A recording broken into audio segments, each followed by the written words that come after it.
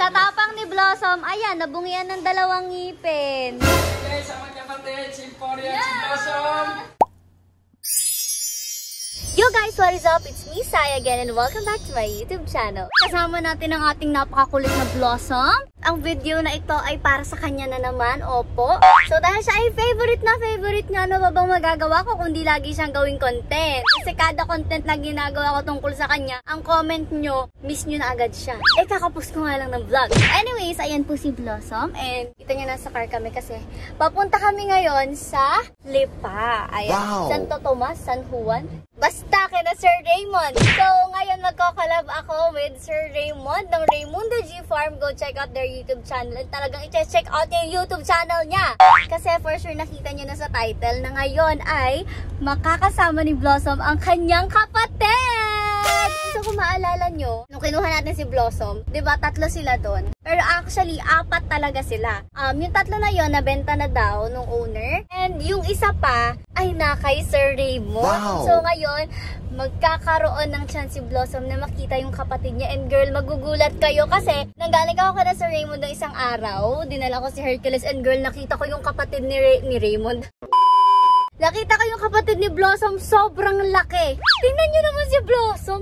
Ang baby pa ni Blossom, pero yung kapatid ni Blossom parang baboy. Ang laki niya, ang taba. Na-ex- Na-excite ako, na-excite ako ng magiging reaction ni Blossom. Kasi sobrang kulit nun. And si Blossom sobrang kulit din. So let's see kung anong gagawin nila. Kung mag-aaway ba sila, kung magkakakilala ba sila or what. But before that, ipapag-groom muna natin si Blossom. Kasi ay! Si Blossom ay napakalagkit na tao, napakadungis na tao, na aso pala. Alam niyo naman na nagpa-vaccine siya last time pero it's been a week since her last vaccine so ibig sabihin pwede na siya maliguan. And dahil alam niyo na si Blossom ay takot sa ligo, 'di ba? Ako lagi nagpapaligo sa kanya, twice na siyang naligo sa akin and sobrang takot talaga siyang maligo. So ngayon, ipapag-groom ko naman siya sa vet ni Sir Raymond.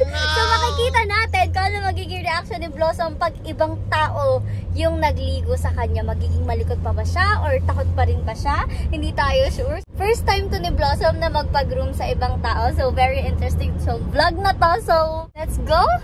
So ayan si Blossom ganap na ganap. As usual, pagpalayas ay mahinhin. Natatakot, baka siya ipamigay. Pero hindi kita papamigay ngayon, ha? Hindi pa ngayon. Pag nagkulit ka pa, so tingnan nyo naman yung balahibo niya. Hindi naman siya madumi, pero hindi ko alam kung ba't ganito yung balahibo niya. Ang dali niyang magkapit-kapit. Kasi ano kasi siya, super woolly niya. As in, kung makikita yung super haba ng balahibo niya. Kaya talagang ano siya, madali siyang magdungis. Tapos, nagkakalkal pa nga siya ng water. So talagang kapit-kapit yung balahibo niya. O chismosa, titingin pa sa mga truck sa harap. So nilagyan ko siya ng harness para cute naman siya. Kaso yung harness niya sobrang log sa kanya oh, kasyang kasya pa ako. Sko po, napakalit kasi ni Blossom, ang payat niya, hindi siya talaga magaling kumain. Mas magaling siyang maglaro kaysa kumain. Enjoy lang muna natin ang biyahe and later update ko kayo pag andun na tayo.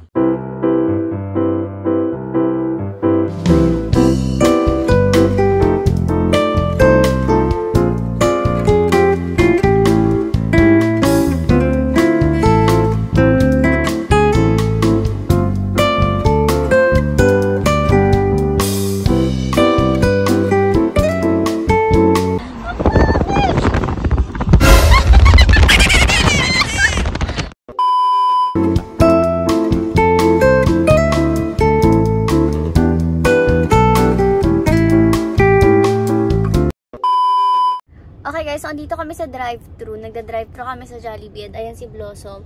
And papakita ko sa inyo yung kanyang ngipin, yung kanyang pangil. Nung isang araw ko pa ito nakita, nagkadoble yung pangil niya. Tumubo na agad yung pangil niya na hindi pa completely natanggal yung isa niyang pangil. So dalawa na sila. So guys, ito yung normal na pangil. Ayan. Yan yung normal. Ito, isa lang. Tingnan nyo dito sa kabila yung pangil nyo. Ayan no, dalawa yung pangil niya. Ayan. Ito. Dalawa yung pangil niya magkatabi. Oh, ano? Anong gagawin natin dyan sa pangil mo? Doble-doble. Oh, ayan na. Nagpahinga na siya. Nag-decide siyang matulog muna. Pero, pagdating ng pagkain, gising to. Sigurado. Ayan na, oh. Ayan na, oh. Gising na din sabi sa inyo, oh. Diyos ko, oh. Inaamoy-amoy niya na yung hangin, oh. Oh. Lalagay ko lang to dito. Sana walang makialam. Oh. Oh. Ay, sus!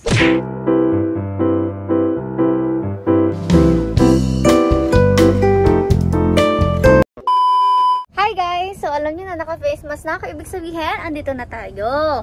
And si Blossom, ayan. Okay, so bababa na tayo. Ready na ako. Ang tanong, ready na ba si Blossom? Ready or not, we have to go. Oh, kala lagi papamigay. Sama na. Sama na. Diyan ka na. Oh, makulit ka. Eh, tara kuya. Diyan ka na, Blossom, ha? Blossom, diyan ka na. Ay, ito pala siya, guys, oh. Ayan. Ang cute. Ano? Upoy ka, Blossom. Takot eh, ano? Sabi ko sa'yo, ipapamigay na kita pag ikaw. Ano ka, ano ka? Oo, oo, oo. Ano? Lagot ka.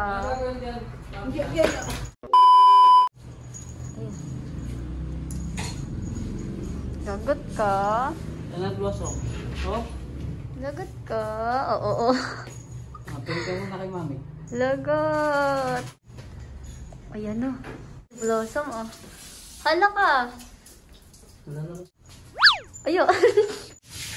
Alo, kawawa. Alo. Liga oh. Tapos na siya. Para makita mo yun. Ayun.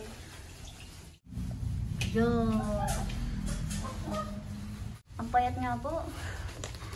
Puro laro, hindi ako po kumakain. Ayun. Ayun. Sinabi sa katawan mo itong shampoo. Oh.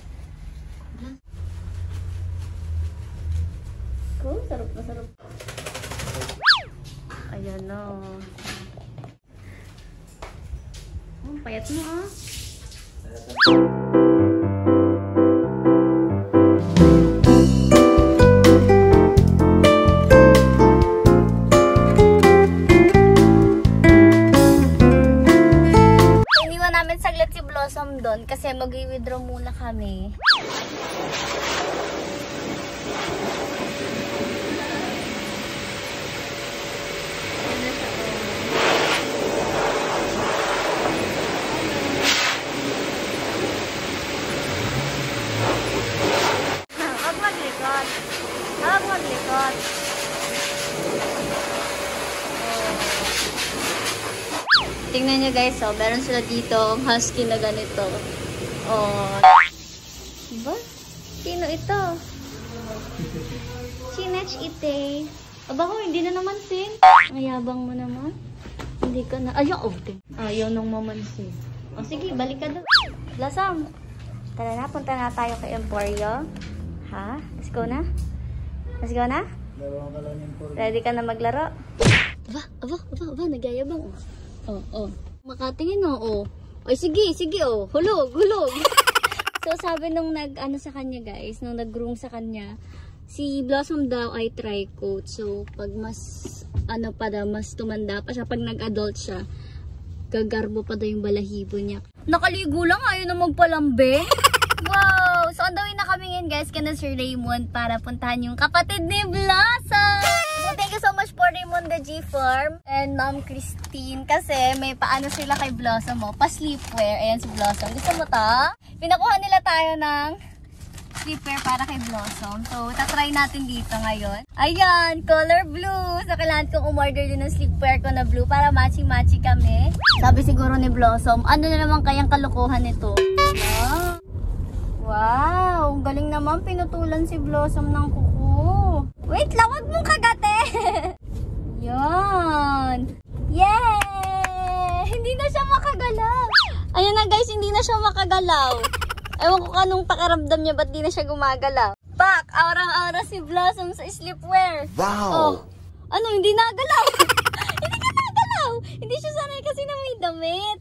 Oh, tapos iba yung ano niya, feeling niya. Oh, satin kasi siya. Oh.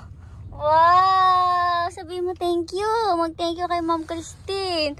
Oh, mag-subscribe daw kayo sa Raimundo G Farm para makapag-thank you daw si Blossom. Kaya muna natin siyang magpahinga. And update ko na lang kayo guys pag andun na tayo. Okay guys, we're here and ito na si Sleepwear. Ayan na si Cinderella. Ah, so paano tayo niyan? Na, parang ano, naubos yung lakas niyang inipon para kay Emporio. Blossom? Blossom? Blossom, let's go? Ay, hindi ako pinapansin. Pagod siya pagligo eh. Mangatok na tayo doon, Blossom. Baba na ako, iwanan ko na si Blossom. Oh, tingnan mo, nakatayo na agad. Oh, ay ano yan, oh. Ang ganda naman ng iyong sleepwear, oh. Naalala mo pa si Ate Chamsi? Eh, Galing daw yan sa inyong shop, eh. Bigay daw sa kanya. Kaya po ka na muna. Andito na tayo, guys. May pamerienda po. Ayan na si Blossom, oh. Blossom, huwag ka maninira, ha? Ay, nakatingin siya dun sa natahol. Ayun, oh, nag-hyper na, oh. Nakikipaglaro na kanina takot.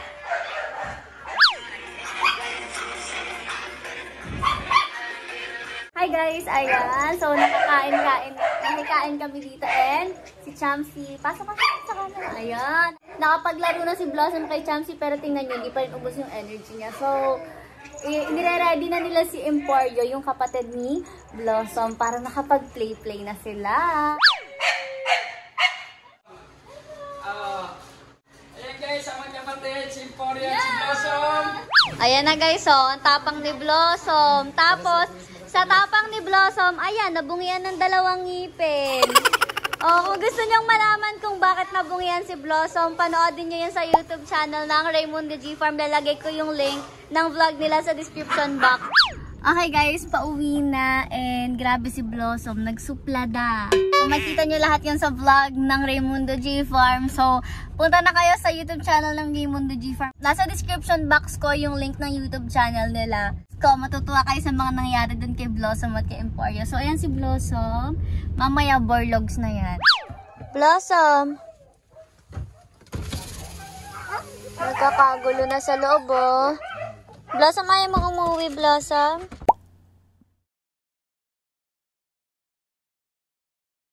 da da da da